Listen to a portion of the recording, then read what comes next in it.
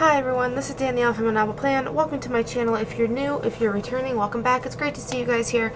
Today is going to be something a little bit different. I have been setting up my Erin Condren hourly planner and today I'm going to be doing a weight loss tracker in the back of my Erin Condren in the notes pages section. So if you're interested, stay tuned.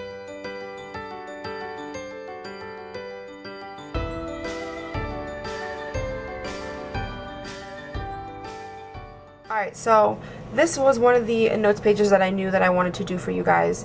I am going to be doing a game board style and this is definitely one of those things that is going to take a little bit of time to do. So parts of this I'm going to speed up. The end result is beautiful but some of the more tedious things I'm sure you guys don't want to watch. So first thing is I'm going to put in the corner here and I'm going to be completely transparent with you guys my starting weight and my goal weight. So this is going to be for my first goal. I will make another one when I reach my first goal and then my second goal is going to be a lot more difficult to achieve.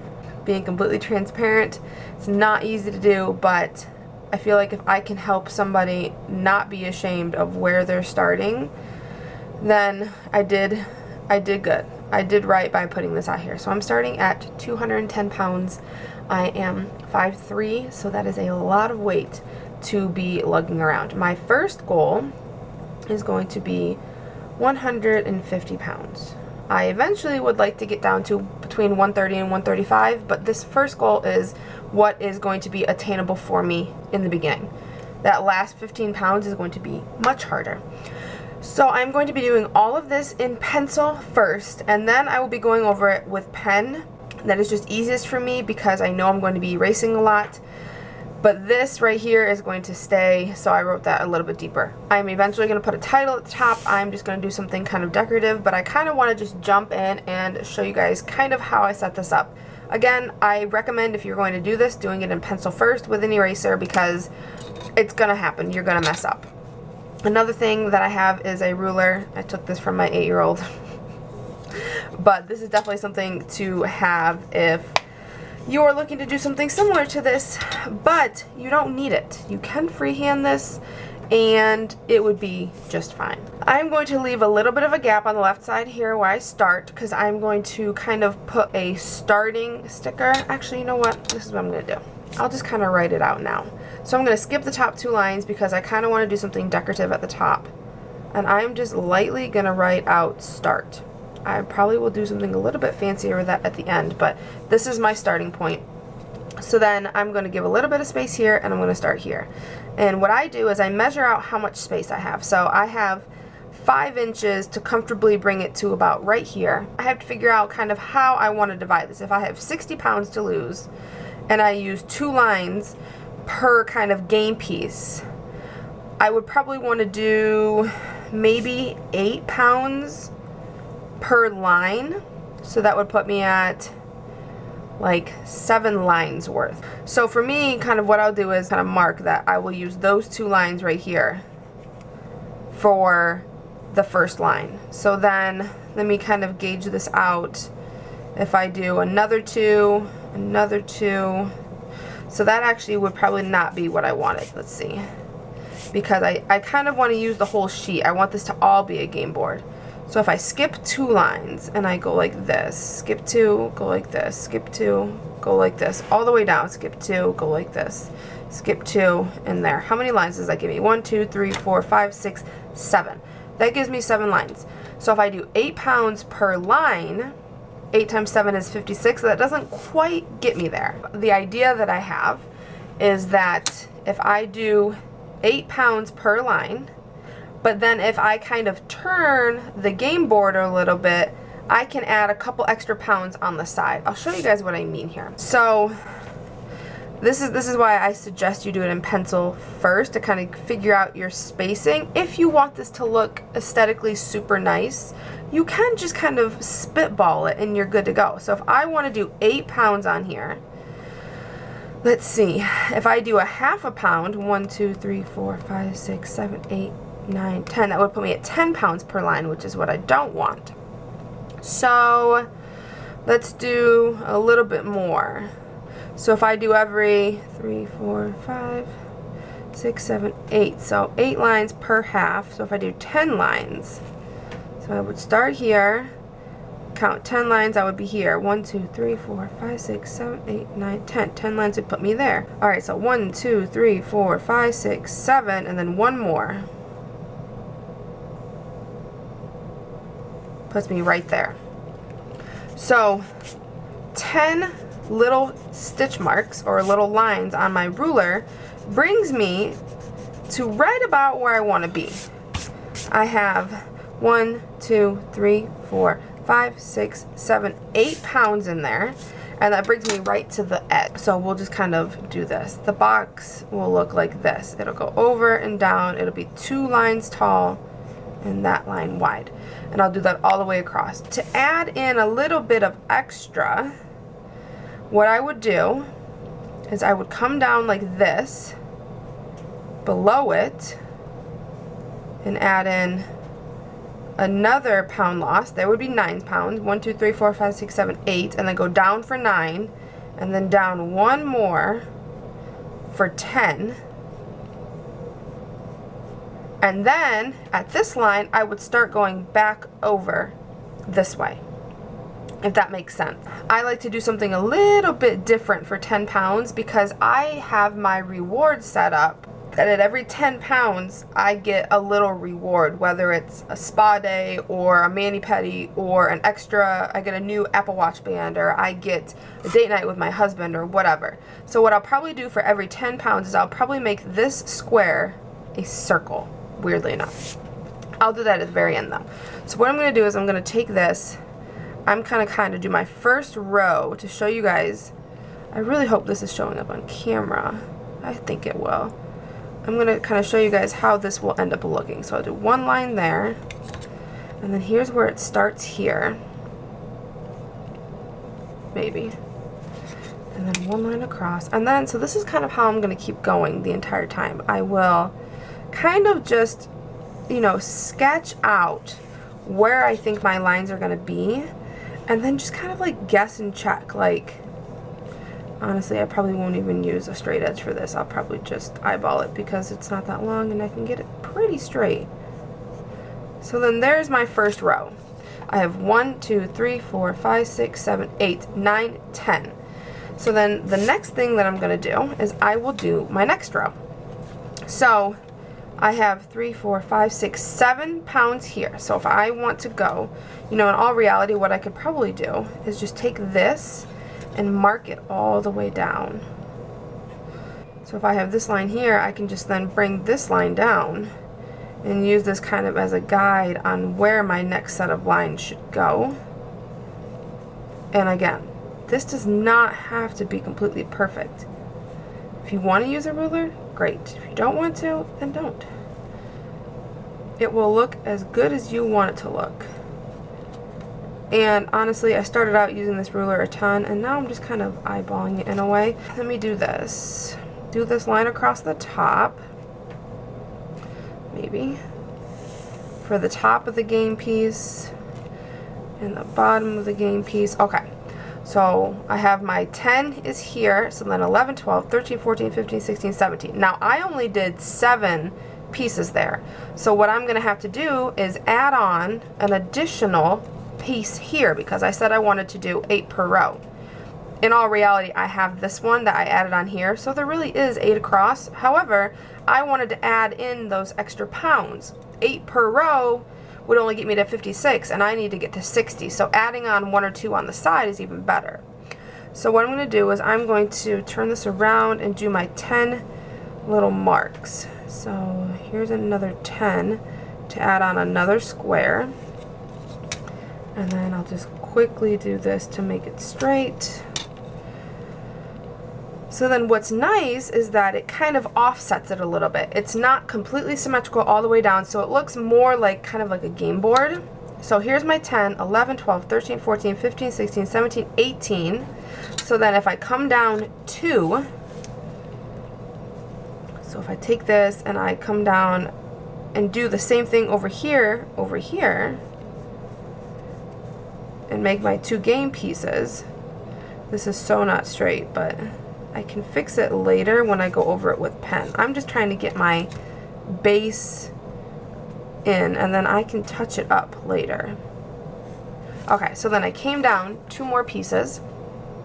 So here's my 10 pounds lost. Here's my 20 pounds lost. I'm to put just a little star here. Here's 10 pounds. Here's 20 pounds. So then if I come over and do another,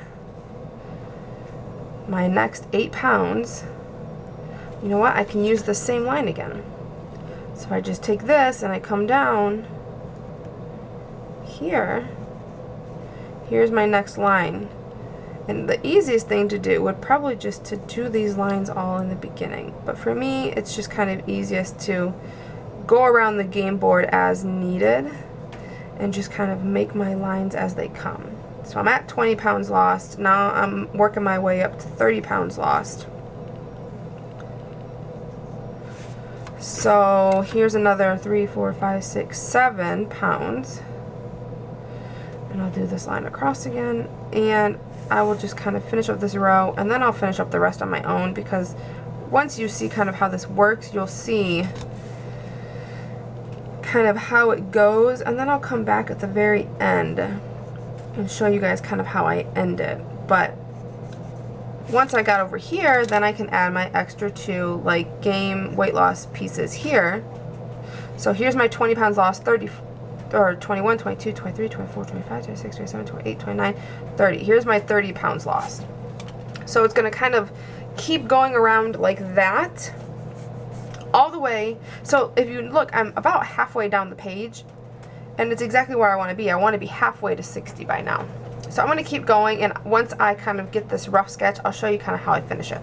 Okay, so I finished the rest of it. I stopped here at 30 pounds. I was able to keep going around for 40, around for 50, and then I stopped here. This was 59, and my next box will be 60, which is my goal. So what I'm going to do is I'm actually, so I have start there. I'm actually going to write finish because it's supposed to be a game board. Here's like the end. So start and finish. And then here, I'm just going to kind of sketch out the word goal because I am proud of the fact that I reached my goal and I kind of want it to be this big, you know, celebration when you get here. So I want this to kind of show that. And in all reality, this is going to take me a while to get here. It's, it's probably going to take me three quarters of the year, if not the whole year. I'm hoping to have a really good chunk of this done by June, but I, I don't know if that's a reality. So looking back at this start, I think I'm going to do something a little bit different. Yes, I have the word start there, but I think I'm going to kind of do this box type thing, and I'm just freehanding this right now. Just to kind of give it a little bit of pizzazz. And I'm going to write start in the middle. There we go. I like that better. That's so weird looking. There we go. So there's my start and my finish and what I'll probably end up doing is doing another one of those weird boxes down here. So it looks, you know, similar, cohesive, and it almost reminds me of like like a superhero type deal when they say like wow and and yippee, or I don't know if they actually say yippee, but where they have like an emphasis on like an action word, that's what that reminds me of. Okay, so I have the basis of this done. I have my start, my finish, here's my game board. So then what I do next is my starting weight is 210, right? So here, start is 210 pounds. So when I lose one pound, I will then be at 209. When I lose 2 pounds, I will be at 208. And I will fill it out all the way down. So 10 pounds lost. So 10 pounds lost is 200 pounds for me. 20 pounds lost for me is 190. 30 is 180. 40 is 170. 50 is 1 60, and then 150 is my final goal. So I really like the idea of kind of emphasizing every 10 pounds lost. So I'm going to erase the boxes around these 10 numbers and kind of see what the circle looks like to see if I like that better. I might. All right, so I have that erased. So if I just take this and I kind of freehand a circle here. Okay, I like that. So that's what I'm going to do. I'm just going to freehand a circle really quick and I can clean it up when I go over it with pen if I choose to. And they're all going to look a little bit different, but that's okay. 180 and then 170. I just kind of like how that 10 pound one is just a little bit different. It kind of really tells you that, oh man, there's another 10 pounds lost. That's pretty awesome. And it also kind of shows me a visual representation of when I hit my next reward, how close I am. So I'm going to go ahead and fill out the rest of the numbers. So I think I want to add a little bit of interest to this. So I think what I'm going to do is I'm going to shadow the game board. And the easiest way I think to do this actually will be to use a ruler. Let's see this side right here. And make a line here. And this part right here will then be colored in. So it's almost like it's like a 3D game board like that. And then I'll do that for every row. Honestly, this is not a necessity when you're losing weight. However, it helps me. It makes me excited to lose weight. I lose another pound, I get to come in here and I get to, you know, mark off another pound. It's just something that is creative, it's fun to make, it's fun to fill out, when I lose a pound, I will then come in here and color in the circle that it goes with. So once I lose one pound, I come in here and I will probably use colored pencil with mine just so I can color light enough that I can still see my numbers. Um, I am going to go over this with pen, so it'll definitely be darker, but just come in with a, a colored pencil and if I lose three pounds one week then I get to come in and color in three squares. And it's just kind of a visual way to track my weight and kind of see you know how far I've come how far I have to go. It's it's fun for me. I enjoy it. And but I'm a very like visual person. I, I like to see progress opposed to just like seeing it on a scale, that doesn't really tell me a whole lot. Like, yeah, I've lost five pounds, but what does that really mean? That's why I really like doing measurements as well. This is just kind of a freehand. I'm going to do this a little bit better in a little bit. But all right, so for my top, I am going to, my title to this whole thing, I think I'm just going to put Get Fit. Something super simple. And I think what I'm going to do is I'm going to kind of do that bubble style lettering that I tried doing at the bottom. So I'll do this in pen and then I will take a, a Mildliner most likely. And what you do is you just do this and then you kind of do a cursive over the top. And then you have like two different fonts on there and because the cursive part is only in marker, not in pen, it's just kind of this shadow font. So that's what I'm going to do for the title. But I want to add in whatever decoration I want to use first. I'm going to be pulling from this wellness sticker book. And there were some stickers I saw in here that I really, really liked. I think that they'll fit. So I have this sheet right here in the sticker book and it has all these positive sayings. It has stay positive, you got this, be present, get it done, things like that. So I think I'm to pull, I have to kind of think of like a color palette what I want to do. I think I want to do this in, let me pull the markers I think I want to use. So the colors on here I think I want to use are is this like tealy color and this purple. So because of that, when I look at these stickers, I want to pull things that are similar. So they have this one that says get it done that's in this teal color. Let's see, maybe down here. right in the middle and it fits perfectly in these lines and these are from a Happy Planner sticker book and an Erin Condren planner and that's okay.